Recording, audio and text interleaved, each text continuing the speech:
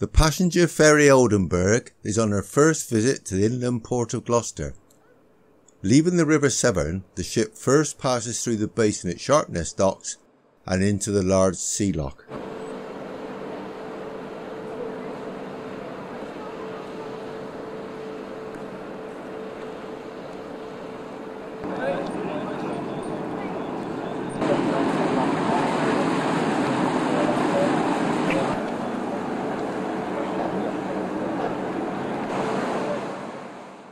Crowds had gathered to witness this event, and remember, it is June 1992, a time when the public could wander around the docks and onto the side of the lock. Over 20 years later, these docks, including the lock area, are out of bounds to the public. However, a picnic area has been established close to the piers, allowing good views of ships arriving and leaving Sharpness.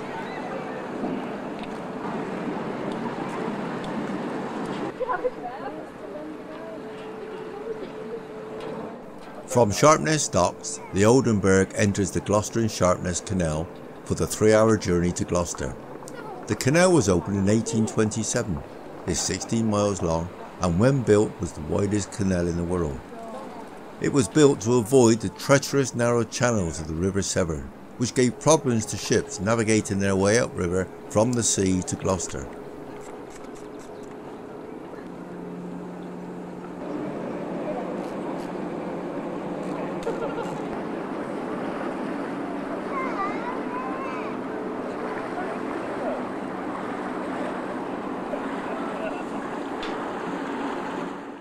The Oldenburg was built in Germany in 1958 as a passenger ferry to work from the mainland to the Frisian Islands.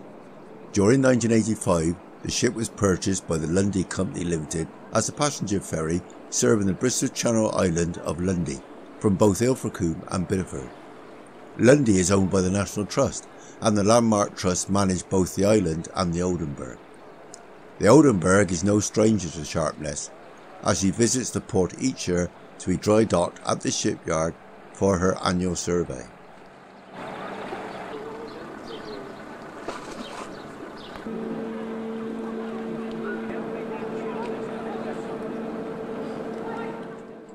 As the Oldenburg arrived at Gloucester, it began to rain, but that didn't put off a crowd of people keen to see the ship enter the port for the first time.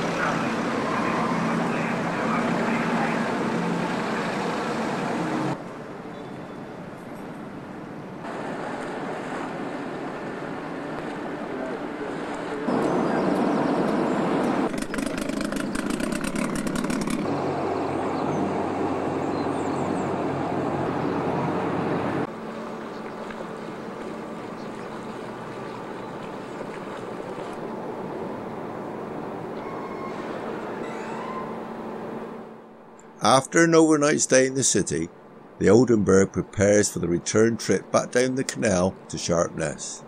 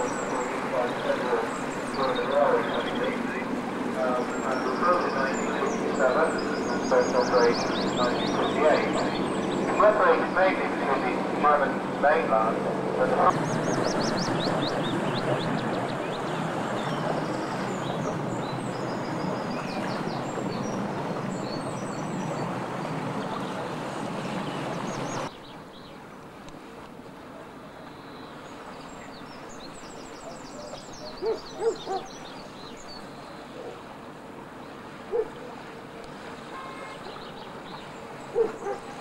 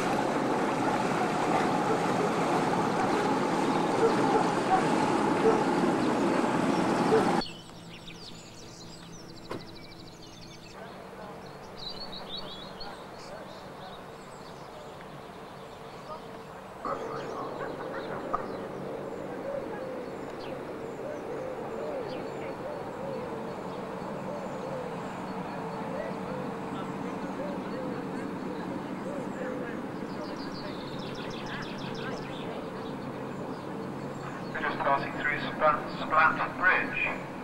You can see the bridge keeper's house on the left left hand side, which is the standard design.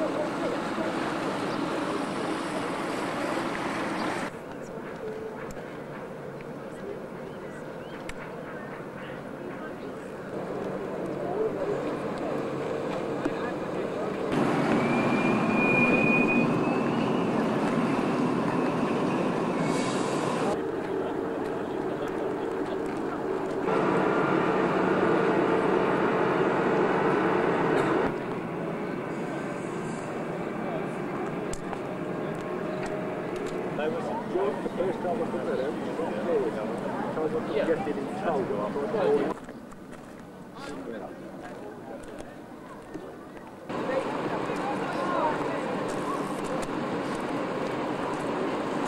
Yes.